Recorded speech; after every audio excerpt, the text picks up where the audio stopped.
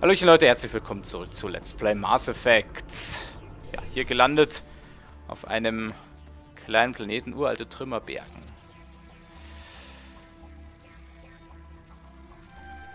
Oh, Turianische Insignien gefunden. Bei Grabungen den Sender haben sie ein Stück Metall, wahrscheinlich von einem sehr alten Frachter gefunden. Das Teilstück war mit den Insignien des Marzidyn-Außenpostens gekennzeichnet. Okay. Ah, da unten ist auch noch was. Beschädigtes Minenfahrzeug. Schauen wir mal. Okay, die Vorderfront des Marco ist durch den Aufprall zerstört. Ein einziger Blick ins Innere genügt, um zu erkennen, dass die Insassen wahrscheinlich ein Team illegaler Wildcat-Minenschiffer tot sind. Noch immer rieseln fast vakuum-ähnlichen Atmosphäre lautlos die Trümmerteile durch die Reifenspuren. Okay, habe ich dadurch jetzt irgendwas mehr noch entdeckt? Ne, da ist das Biotika-Lager. Hier sind die Trümmer. Wir haben sowieso jetzt einiges an Missionen, die wir erfüllen müssen. Ich schaue ich erstmal, dass ich irgendwie zu diesem diesen Trümmern da komme. Wie gesagt, bis jetzt konnte ich die halt eben nie bergen, weil man dafür eine... Oh, scheiße. Weil man dafür eine gewisse Technikerfertigkeit braucht.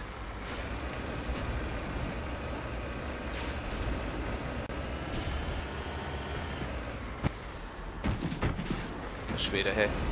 Ich finde es ganz gut, dass sie dann im zweiten und im dritten Teil diese Mission rausgenommen haben. Es gibt dann leider nicht mehr so viele Entdeckungsmissionen. Das ist auch wirklich schade. Aber... So. Mit der Zeit werden die auch ziemlich langweilig. Und das ganze Spiel, wenn man da ein bisschen... Wirst du mich jetzt verarschen? Äh ging das nochmal? Ich kannte das doch. Ich könnte das doch einen von den anderen machen lassen, oder?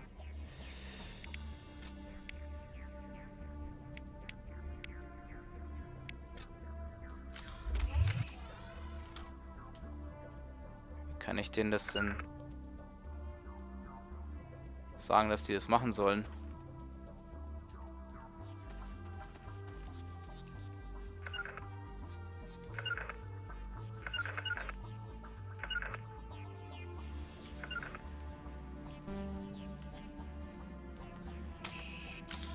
Keine Ahnung, wie ich dir denn sagen soll. Hallo.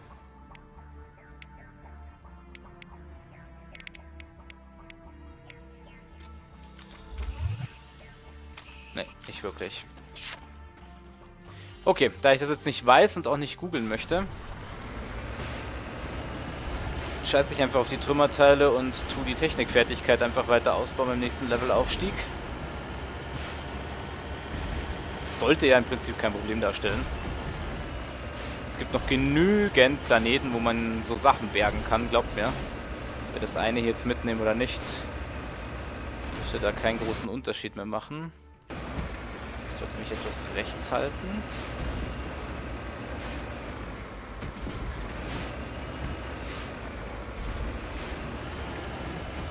So. Mal sehen, wie gut dieses Kultistenlager wirklich befestigt ist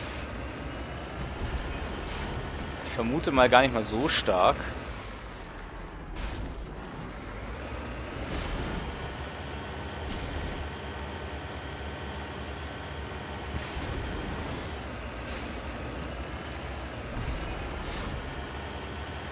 Was haben wir denn hier hinten schickes, ha? Huh? Ups. Ein Goldvorkommen. Ja, ich äh, würde jetzt mal sagen, spricht nichts dagegen, das mitzunehmen. Suche nach Mineral. Ja, genau. So macht man das. Schwermetallvorkommen entdeckt. Sie haben ein großes Goldvorkommen entdeckt. Jawohl, ja. Das markiert man dann nämlich immer so schön mit so einem Markierstäbchen und dann kommen da Allianzschiffe und holen es ab.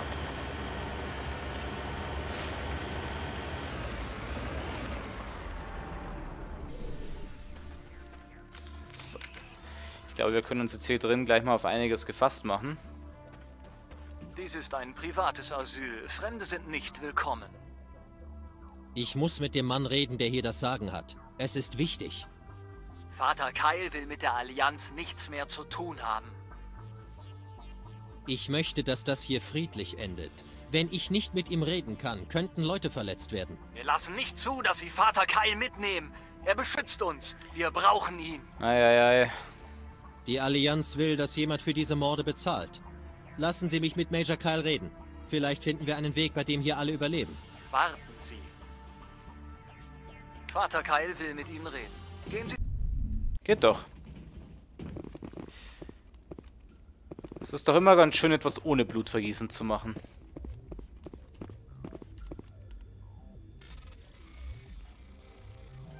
Ah, huha. Okay, zwei Quarianer-Schutzwesten. Können wir dann Tali mal anziehen bei Gelegenheit, wenn wir die mal mitnehmen.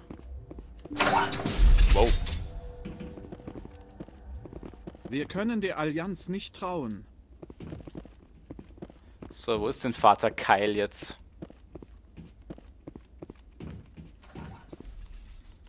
Hier lässt sich einiges holen, wie ich merke.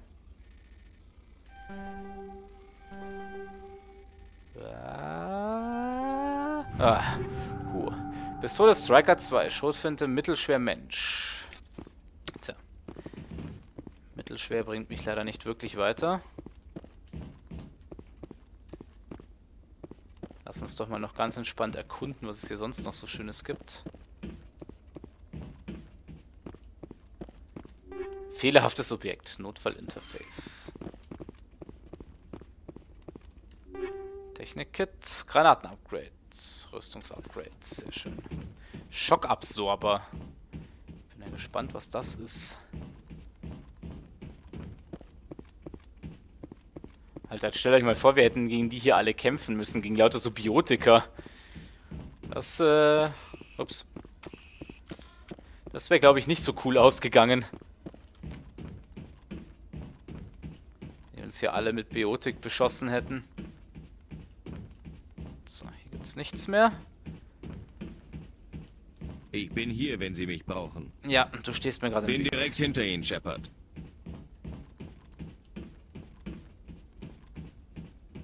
So, dann sprechen wir doch mal mit Vater Kyle.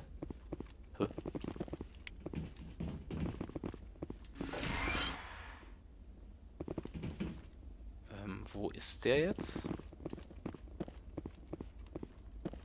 Ist er doch unter uns, hä? Keine Dummheiten. Wir behalten sie im Auge.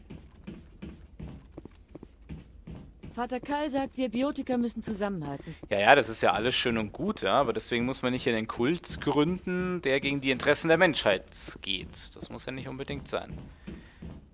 Ist der doch hier unten? Habe ich den jetzt noch nicht gesehen? Ich blinder Fisch, ich. Biotiker können sich hier sicher fühlen. Hä?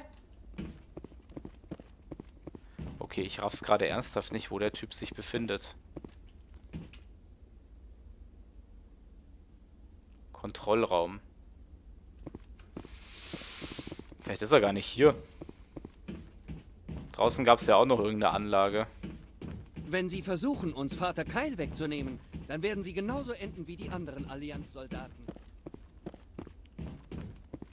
Schauen wir mal noch mal raus, was in dieser anderen Herberge da ist.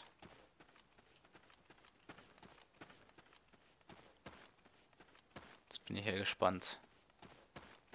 Vielleicht ist er ja da drin.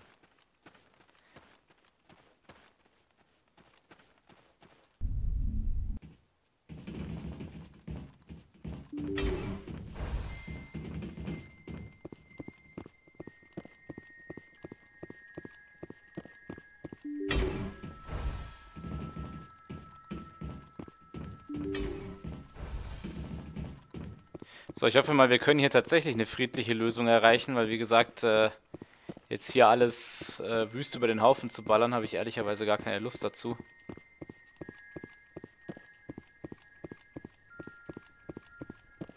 Keine Dummheiten.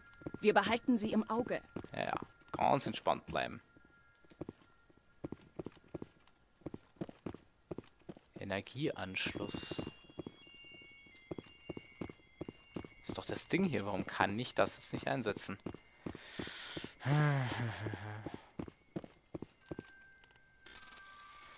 Vor allem so keine Dummheiten. Ja, ich raube euch nur aus, also.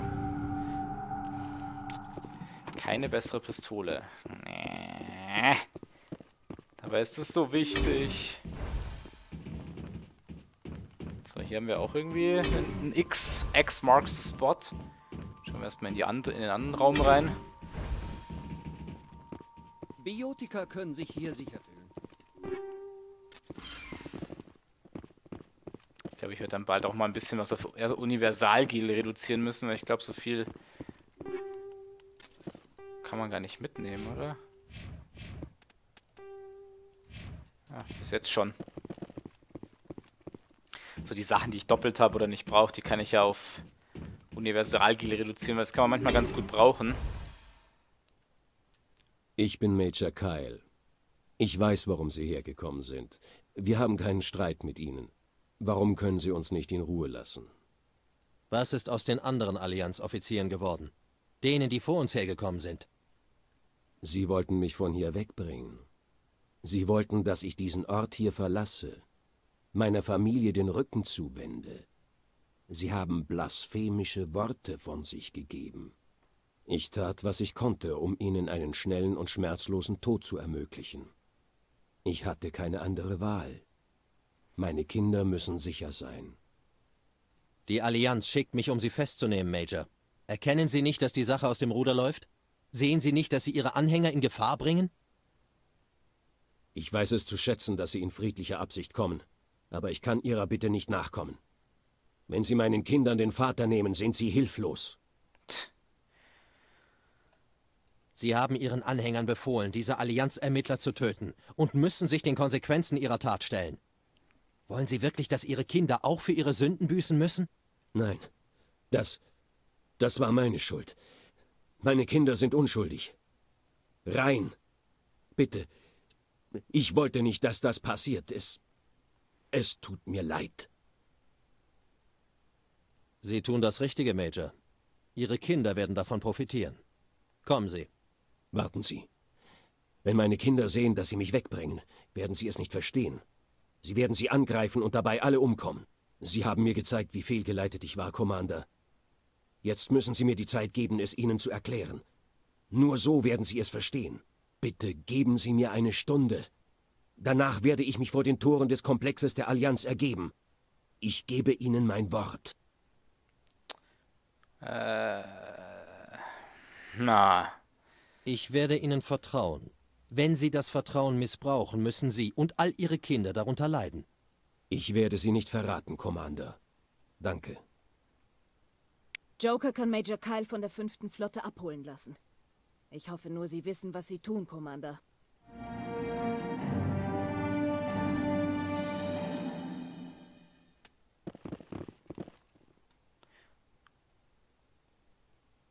Okay. Die anderen Männer von der Allianz haben versucht, Vater Kyle zu töten. Tja, ich habe mit ihm geredet. Denn wie schon die Konsortin richtig bemerkt hat, Sprache ist die mächtigste Waffe.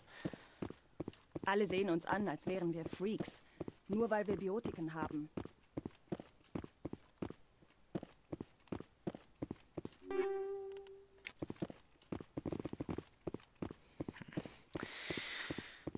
Wünschte, ich würde schon stärkere Waffen haben. Wobei diese Pistole, die wir da bekommen haben, von diesem einen Typ auf Eden Prime, die haut schon echt fett rein. Also.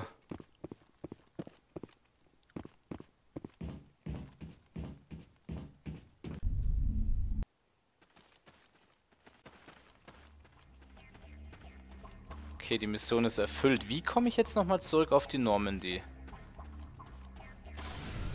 Mit M, glaube ich, oder?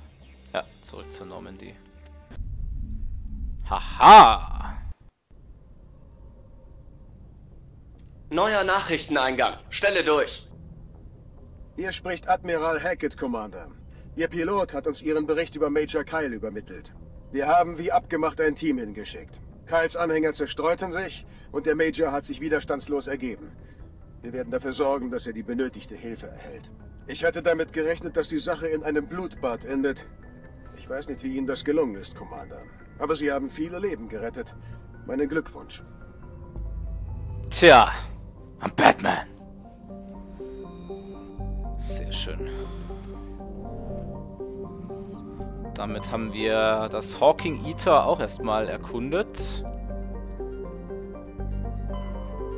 So, im Exodus Cluster waren wir schon. Ist die Frage. Ich würde eigentlich schon ganz gerne jetzt direkt mit Liaras Au äh, Ausgrabungsstätte weitermachen.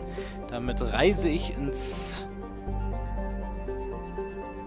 Ah, wer ist das? Artemis... Tau Cluster.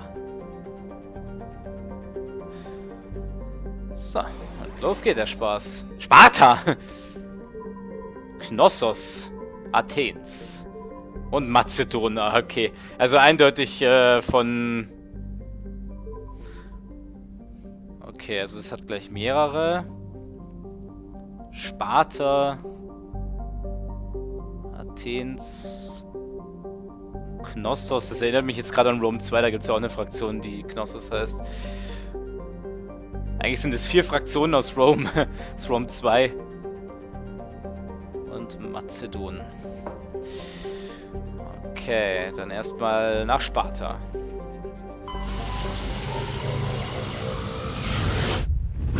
Wuhu!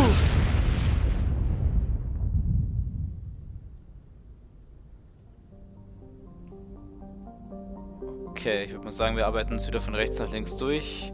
Altaia. Ein ungewöhnlich großer terrestrischer Planet, okay. Aber sonst nichts weiter Interessantes. Tremanre. Leider auch nichts Interessantes darauf. Okay, dann machen wir mal Alsages. Können wir immerhin erkunden. Ein seltenes Element entdeckt. Mittels Orbitalscans haben sie ein kleines Vorkommen von Plutonium entdeckt. Nice, nice, nice. Commander, ich empfange ein Signal von der Planetenoberfläche. Scheint ein automatisches Notsignal zu sein. Okay, das heißt, wir können auf Idolus schon mal landen. Dann erforschen wir erstmal noch den anderen Planeten hier. Ein großer Wasserstoff-Helium-Gasgigant in dessen Atmosphäre sich Spuren von Chlor und Schwefel nachweisen lassen. 39,1 Erdjahre, fetter Radius und Gasvorkommen entdeckt. Hey, das hätte ich jetzt echt nicht gedacht. So. Und auf Idolus landen wir gleich mal. Äh, Ash und Squad annehmen, ja.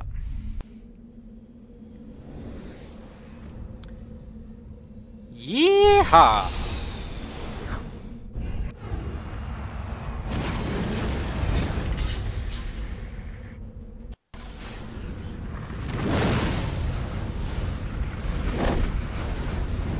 Eieiei.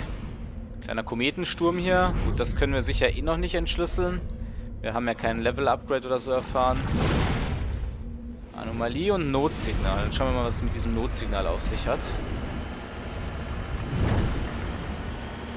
Das finde ich echt cool, dass sie eigentlich pro so Sonnensystem haben sie mal einen Planeten eigentlich im Prinzip eingeführt, oder maximal zwei Planeten, die man erkunden kann mit diesem Mako-Mobil hier.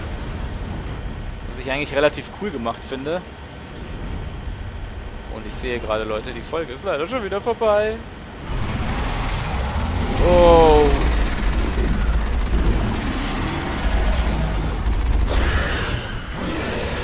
Ah, wie wir den Dreschlund besiegen in der nächsten Folge bei Mass Effect. Bis dahin, ciao Leute, macht's gut.